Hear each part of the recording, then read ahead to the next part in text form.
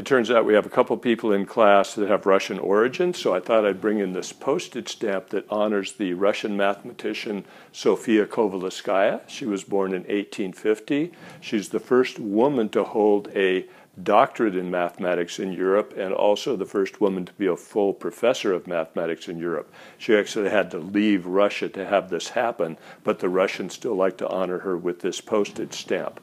So if we look over here, here's a little collage of some of the things that we do in our Take Five videos, our sort of enrichment videos that we do. And you'll notice down here, this little cover of this book, it's a novel written by Sofia Kovalevskaya. So not only was she a mathematician and a professor of mathematics, but she also wrote this novel. I've read this novel, it's really good. It's about a young woman that falls in love with a revolutionary and kind of the difficulties they have in their life because of his political beliefs. Short book, really good. But Sofia Kovalevskaya, Russian hero, first woman to do these things in mathematics, and also a novelist.